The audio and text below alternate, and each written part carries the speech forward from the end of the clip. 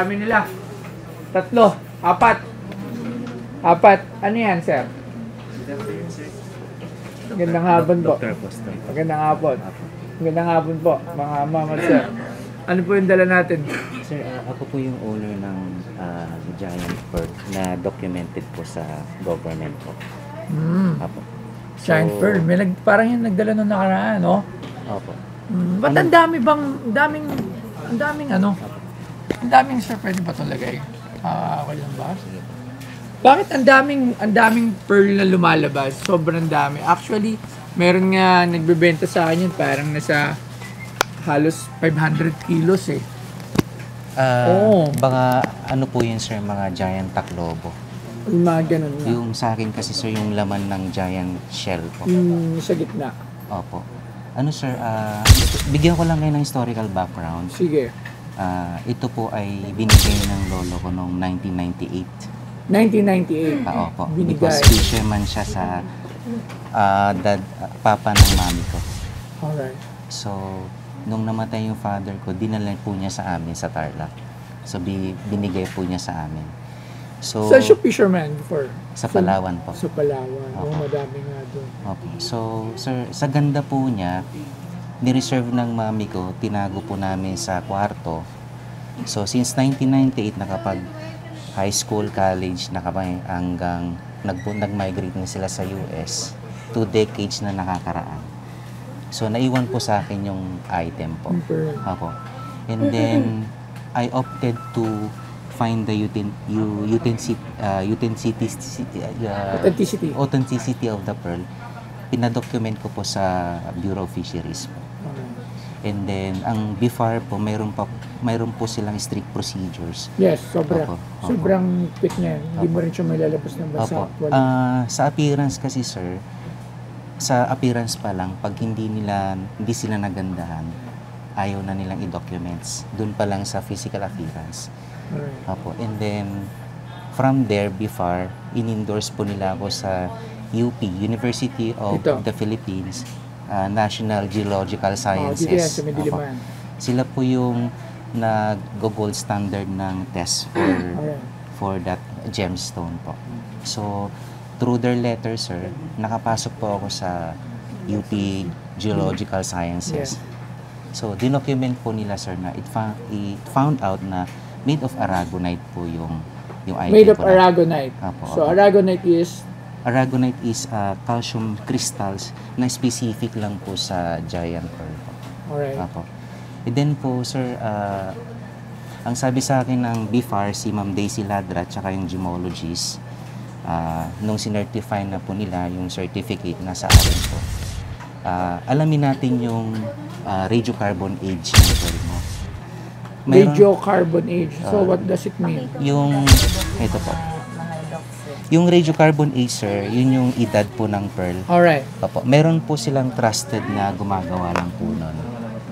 So, ilabas ko na po. Sige. So, si Sir, ba't niyo tinawag na doc? Ah, anak niyo? Ay, mga doctor po. Ah, doktor ng Ah, ano po? general The inter- internal. sorry po. Internal, internist po ako, sir. internist. Apo, Alright. apo. Internal, ano, mga internal medicine. Internal medicine po Yes. ako, sir. Opo. Tapos po, sir, ah, Dito ka based sa Pinas. dito ako sa base of government po ako, sir. Ah, government. Government based po ako. Sige, tingnan natin Apo. yan. Ito po yung mga box.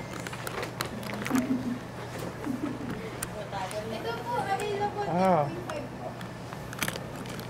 Lers, Galo, Apostol, Pearls. Ba't tinawag na hit? Ah,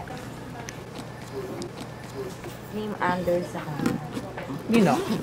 Ah, so, name ni Hitler. Kasi pi- Hyler. Hyler siya ito. Nickname ko po. Ah, higher. Alright. Apo. Kaya Pero mga idol bigat ni... eh. Opo, mabigat. Habi ni... Ni mami, ni mami niya. Ah, na mami niya. Opo. Alright. Sir, yan Wow. yung real name ko 17 po. kilos. Opo. Mabigat lang. Baka Kaya ma- kaya po yung salamin, sir. Ay, dito tayo sa gitna. Babumigay. Okay lang. Saan po, sir? Sa gitna ng dalawang salamin. Ah, okay po. Yeah. Doon na natin. Babumigay yung salamin. Yan. Alright. Ay, ito. Yan. Hindi, akin to. Kayo. Yan. Opo. Ako na, Doc. So, titignan natin. Sir, this is the Certificate of Authenticity Yes. signed by Dr. Blaze, yung gemologist po natin na credited sa Philippines. Ang amoy, no? Apo. Tapos no? po, ito po yung Parang kandila yung amoy niya. ito po yung documentation ng ano sir, ng BIFAR. So, nag-stay po ito for one day. Napirmahan po ni Ma'am Daisy, yung aquaculturist natin, tsaka si Dr. Blaze po. Wow. Orient Pearl of the Apostles. Yun po yung pangalan ko kasi Ito. yun po yung Sino nagpangalan? Ako po sir kasi yung yun yung advice ng BIFAR na magpangalan ka sa pearl mo. Sabi niya. Tapos ito yung UP test po. Yes, kompleto. Opo. Kaya Ah, pwede itong ilabas ng bansa. eh. opo. Kasi yan po yung documentation naman Sa alasan, sa jewelry. opo, sa mismong jewelry sir noong 2019. Okay. Ang kagandahan nito sir, ah, meron tayong radiocarbon dating na ginawa sa Miami, Florida. Gano'n nakatagal? Ito po. Ito po yung ah, sulat ng may-ari ng ah, Beta Analytics sa Miami, Florida. 1977? Hindi po si Ronald E. Hadfield. Hindi, I mean yung ano. Ito po yung ito po yung findings sir. Sa sample 3 po ako. Kasi tatlo po ang nagpa-test from the Philippines. Sa sample 3 po ako. Ito po. So 3,730 years of age po. Ang katumbas po sa before Christ po, calori- calendar years po is 18 18 to 1607 BC. Yun po ang edad. Panahon pa ni So, Moses ah, po. so wala pa, before Christ pa. Opo, before So kasi ngayon, 2023 lang tayo. Eh yan, 3,000, Ito sir, ah, ano ba? Ah, ang age 16, niya ito po. 18, 1607. Cal- ah, calendar years before Grabe Christ naman po. to kayamanan mo naman pala na to. Opo, ah, sir, ano po Pwede yan? ba itong hawakan? Sige po sir, napakaganda po. Yeah, kaya dinocument ng BIFAR po. Grabe, no? Opo. Actually, hindi nadalang pearl dito. Hindi siya ganyan eh. Ah, Tingin-tingin lang. oo. Pero grabe, ang bigat. Sir, ako lang po yung documented na giant. Dalawa lang kami sabi ng BIFAR. Kasi medyo pricey Apo. ang pagka-document. Opo. Ah, ang bigat, gagi. Yes po. Wow. Bali ito sir. Ah, ah, Ito sir. Para siya, ano parang sir? ngipin talaga, no? Opo, sir. Actually, sir, yung clamshell, sa tagal po niya, 3,730 years, na resemble niya yung clamshell. Di ba bilog muna yan, sir, na lumalaki? Pag napupuno siya, Napupuno, nakukorte. na-resemble niya yung, oo. yung clamshell, Na-absorb niya yung itsura ng pinaka-cover niya. Opo, sir. Kasi minention din sa documentation na may ano po niya, kinover niya yung yung ano po, yung shell po niya. Yun po yung documentation. Grabe. Opo. Nag-ano to, di ba, Doc? Pag inilawan. nakikita- Ah, nag, Opo. ano, nag, ah, May ano po kayo? Opo, eliminate. Malakas po yung ilaw niya. Malakas eh. siya, Kaya pagpatay lang- yung ilaw, dapat pinapatay yung ilaw. Ang bigat, ah, grabe. Parang nag-weights. Opo, Ayan. sir. Opo. Hindi, mukha naman talaga siya. Mahina. Opo, sir. Hintay lang. So, ang ganda ah. Yes, sir. Kaya mo Ah, naman yung binibenta. Alam ko, mahal yan. Opo, sir. Ano ba? Pero magkano yung price niyan? Alam ko sobrang magkano yan. Ano sabi sa inyo? sir, ah, pag very rare kasi yung giant pearl, mahirap hanapin. Tapos mahirap din hanapin yung ganong katandang age at ah, ganitong kagandang pearl. So, ah, bigyan ko lang kayo ng idea, sir. Sa Palawan, sir, na hindi documented, dinocument nila as 130 po, no? Na hindi documented, sir. 130 million. Opo, US dollar po sir. Dinisplay po nila sa Palawan. Ah, inappraise po nila yung value.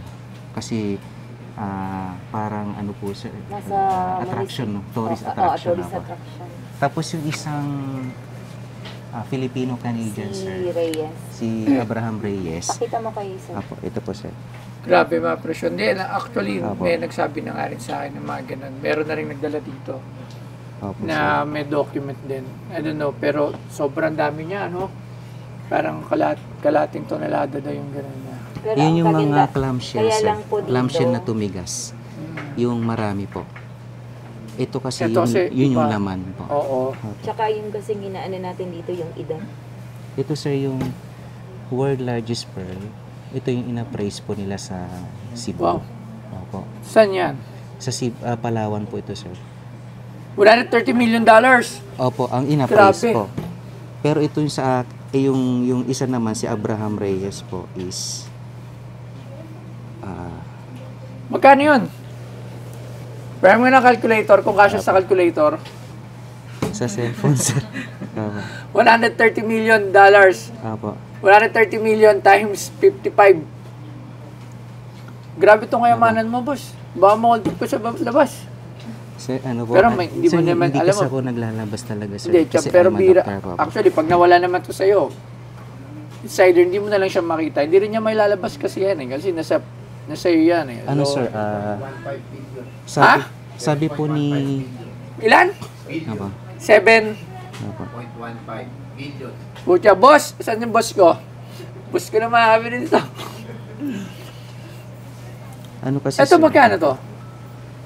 Sir, ah, ano po ba ang procedure ng Hindi, gusto ko lang na idea. Actually, hindi ko to kayang bilhin na. Honestly, kung billion to o kahit nga sa 20 million pesos, hindi ko yan bibilin. Kasi, Apo. um, hindi para bumili ako ng ganun isang bagay ah, Apo.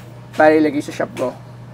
'Di ba? Apo. So, ang bibili lang talaga nito is talagang mga baka matulungan mo kami sir? Oh, yun nga. Katulad nga ng mga boss ko na talagang mga bumibili ng mga Oo, yan. Pero magkano yung ganito? Sir, ah, ang ang ano ko po ang, Para may idea. Para may idea sila alam. Kasi, Apo, one. May para may idea sila sir. Sir, baka pwede nating i-offer ng 120. million dollars. Apo. 120 million US dollars. Apo. So, billion din. Billion din po sir. Kasi Grabe. ang inaano po natin dito yung edad. Yes, hindi. Hindi ko kina-question yung presyo. Apo. Kasi, ah, alam ko naman yung price. Hindi ko kina-question yung presyo niya. Ang tanong kasi, ilan lang yung kayang bumili ng ganun. Kahit si Senator Manny Pacquiao, hindi niya kaya bilhin yan ngayon. Di ba? So, yun yung tinitingnan natin yan eh. So, sobrang mahal talaga yung value. Actually sir, ah, nakatapos na kami ng college eh. Na-keep ng family ko po ito. So, nag-decide na rin kami ng family na maghanap ng buyer once na-document na po. Came Pero, hanggang dun lang talaga yung benta nyo niyan? Sir, ah, pwede naman pong Negotiable pa. how, how low para alam din nila at alam ko din. Kung sakaling may magtanong sa akin regarding this.